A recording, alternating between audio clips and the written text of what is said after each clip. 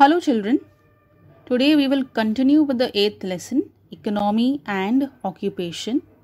In the last video, we saw the economy, their performances in both the countries. We also saw agriculture, fishing, mining in Brazil. So now we will be doing agriculture practiced in India. What are the different products that are produced in India?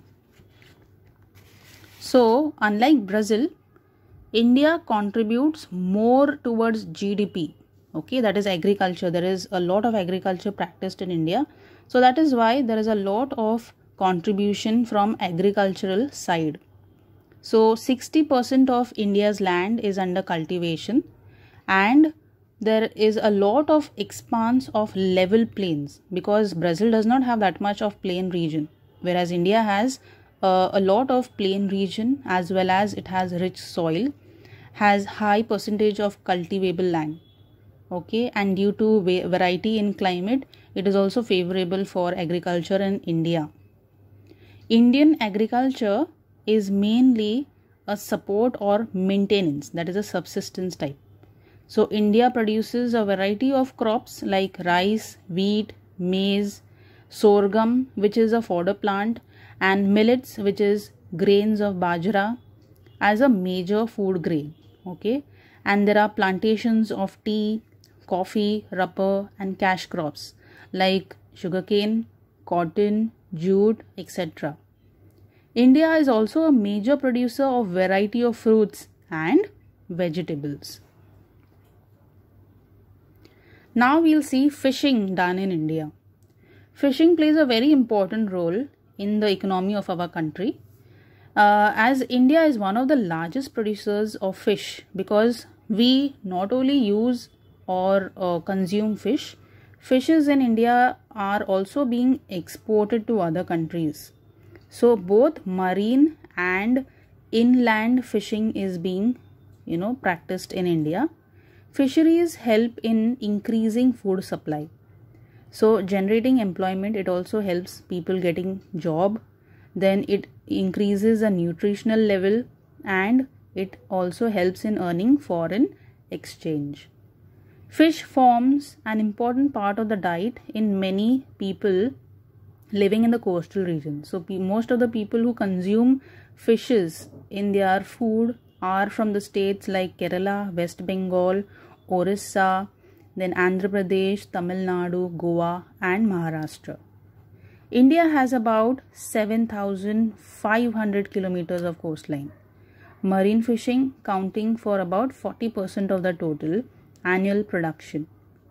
So, if you go to see in Malabar coast to uh, coast, that is in the eastern Tamil Nadu, major fishes are that are caught are sardines, mackerel, Bombay duck, and prawns. If we go towards the eastern coast, the important fishes that are caught are horse mackerels, clupeids and silver bellies. So in the fresh water, which types of fishes are found? Fresh water means what? The rivers or lakes, ponds. So these kind of fishing is carried out on the rivers, canals, then tanks, ponds. Like the fishes found here are or caught here are silver bellies carp which is also called as the chopra are the major freshwater varieties. About 60% of the country's total fish production comes from inland fisheries. We also have the artificial fisheries in india which is also called as a pisciculture you all might have heard about it which is fish farming is the rearing of fish for food in enclosures such as fish or tank. So fish the eggs are being you know like fertilized and they are being bred in an enclosed artificial pond. Now we'll see the mining practiced in india. So in india we have uh, many places especially the northeastern and the central side where we find a lot of minerals through mining. So the chota nagpur plateau in India is a big storehouse of different minerals. Okay, that is Chota Nagpur. Mining is a main occupation for the people living there. Coal is being mined in Korba in Chhattisgarh and in the eastern Maharashtra. Mineral oil wells are found in Digboi in Assam, High, Mumbai High in Arabian Sea, then Kalol and Koyali in Gujarat. Reserves of mineral oil and natural gas have been discovered at the mouth of river Godavari. Stones like marble are found in Rajasthan and Kudappa in Andhra Pradesh. Now we'll see the industries in Brazil. Major industries include iron and steel. Okay, these are the main uh, industries found in Brazil.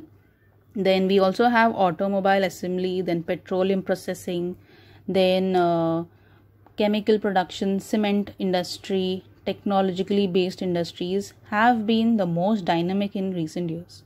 Okay so the industries which are based on technology have, have been increasing and having a boom. But have not outpaced the traditional industries. Similarly food processing like sugar industries cotton textiles milk and woolen industries have been developed well most large industries is concentrated towards the south and the southeast the northeast is traditionally the poorest part of Brazil, but it is beginning to attract new investments. Next, we'll see industries of India. So, the distribution of industries in India is very, very uneven due to the you know uneven distribution of resources and raw materials, powerhouses, okay due to which the industry is like are largely like you know uneven. Somewhere it is more somewhere it is less. So jharkhand orissa then uh, adjoining chhattisgarh madhya pradesh parts of rajasthan karnataka and tamil nadu okay account for the reserves of metal metallic minerals. What are metallic minerals? They are the minerals that can contain metals with chemical formulas so, this area, therefore, particularly the northeastern part of the peninsula, has a very high concentration of these kind of industries. Availability of large quantities of coal and refractory materials. What are refractory materials? They are the minerals which are heated heat resistant okay that can resist the decomposition by heat pressure or chemical attack it is commonly applied to retain the strength. So, along the cheap power from Damodar Valley Corporation and a number of thermal power projects. Agro based industries are also found in India. We can see like uh, we have cotton, jute, sugar are heavily concentrated in the raw material producing areas. The forest based industries also found including paper, plywood, resins like lac, etc. near the coastal regions of Kerala, we can see heavy concentration of coir. Coir means what? The rope that is being made out of coconut, uh, you know, threadings. We also have copra. Copra means the dry coconut, and then fish canning, where fishes are canned. These industries are found the, near the coastal regions of Kerala. Then near Gujarat in Koyali, Digboi in Assam, Nunmati in Assam and uh, Bongaigaon in Assam, refineries are situated where petroleum is being produced. And Mathura and uh, Barauni, which is in Bihar, refineries in the interior away from the coast and coal producing areas. The distribution of cement in industry is also highly conditioned in the areas where the raw materials are available.